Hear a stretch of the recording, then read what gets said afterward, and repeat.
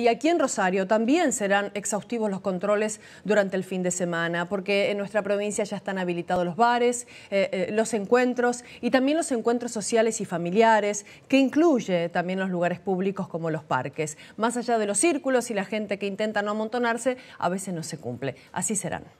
Sí, los controles no solamente van a ser diurnos, eh, el esquema en los parques se repite todos los días. Eh, sino también eh, en la nocturnidad, eh, en el sector gastronómico.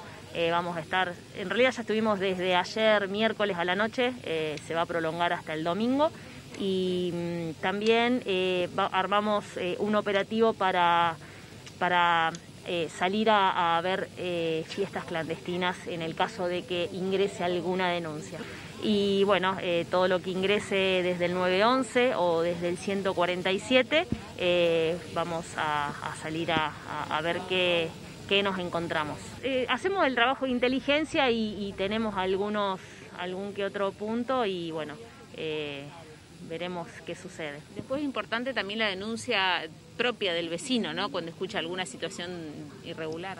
Sí, por supuesto. pueden llamar tanto al 147 como al 911 como para que nosotros podamos actuar. Es importante que el vecino denuncie para, para nosotros entrar en conocimiento de esa situación.